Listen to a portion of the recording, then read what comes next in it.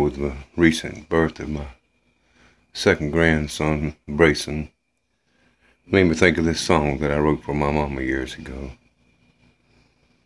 It's called Mama's Rocking Chair.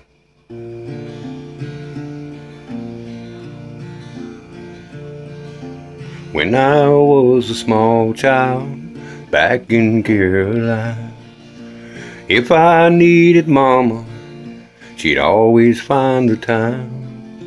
She'd tell me a story as she held me there, rocking in my mama's rocking chair.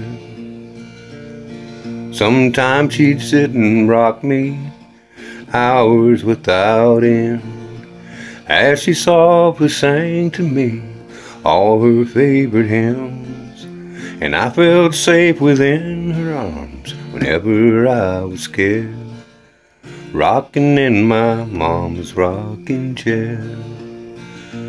In my mama's rocking chair, with my head against her breast, moving to the rhythm of her heart. Lord, I've never found the kind of love that I once felt there. Rocking in my mama's rocking chair. I often think about her and the memories of home. Though I'm now a grown man with children of my own, when living takes its toll on me, I picture myself there, rocking in my mama's rocking chair. In my mama's rocking chair, with my head against her chest moving to the rhythm of her heart. Lord, I've never felt the kind of love that I once felt there.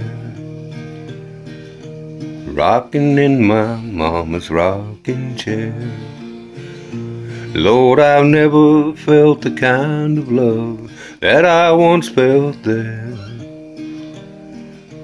Rocking in my mama's rocking chair.